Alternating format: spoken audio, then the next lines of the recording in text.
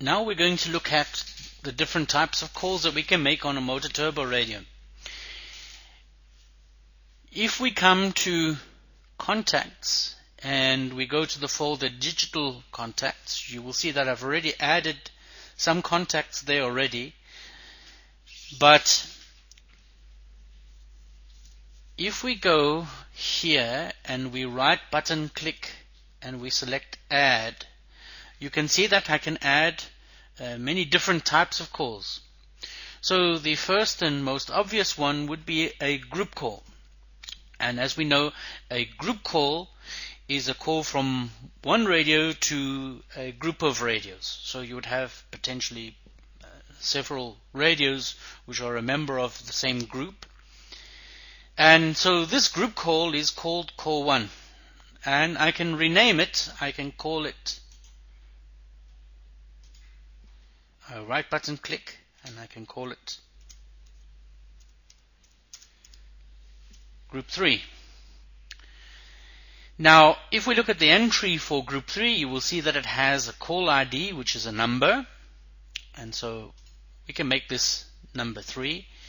And the range for these numbers is again 1 to 16 million. I can't remember the exact number, but it's more than you will ever need. If we look at group 3, you will see that the icon next to it, it has a half square wave and two little men. This tells you that this is a group call. Let's add a private call. So go to the folder, right button click, select add, then select private call. And now I'm going to add a private call. Now you will see that the icon is just has uh, one man there. So that tells you that this is a private call. Right button click and select rename and let's call this radio 3. Now I'm going to give this one the call ID of 3. So here we've got a group 3 which has got a call ID of 3 and a radio which has got a call ID of 3. The number is the same, but the type of call is different. One is a group call, one is a radio call. Another possible call type that I can make on the MOTOTRBO radio is all call. And you'll see that the icon for this is a whole bunch of people standing next to each other, it looks like. And here the name is again call one. I can rename it and we can call it all call. So the all call, it has a fixed number of, and you can sort of see it here, it's grayed out of 16 777215. This is the number for all call. In the case of all call, this is a one-way call to every radio on that channel.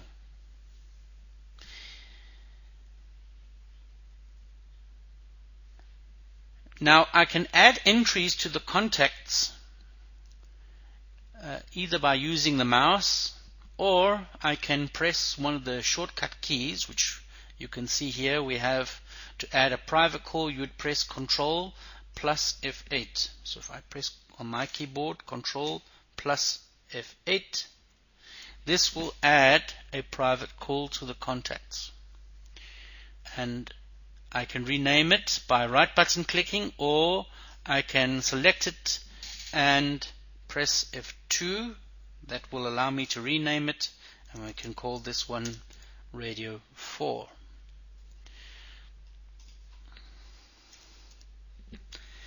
Now I can also view the contacts as a table. So if I click on the digital folder here, you will see that now I have the contacts displayed as a table and I can see everything in one go.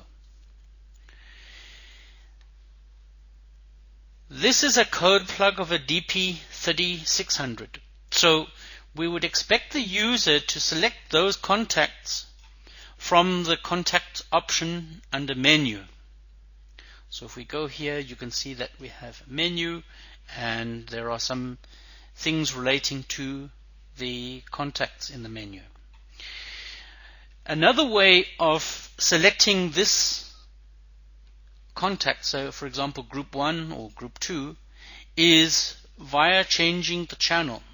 So here I've added already two channels and on channel 1 we can say that the radio when the user presses the PTT it's over here the contact name when the user presses the PTT is group 1 so the user when they press the PTT they will automatically make a call to group 1 where is group 1 there is it there. That's defined over there if the user goes to, say, channel 2, we can make the radio call group 2.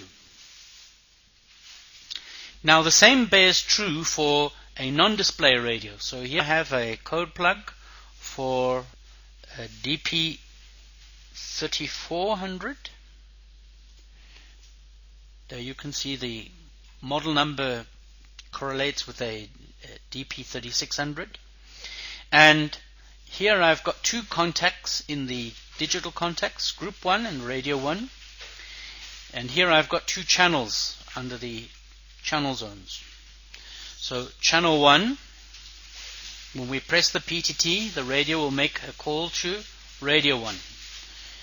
Channel 2, when the user selects channel 2, they'll automatically make a call to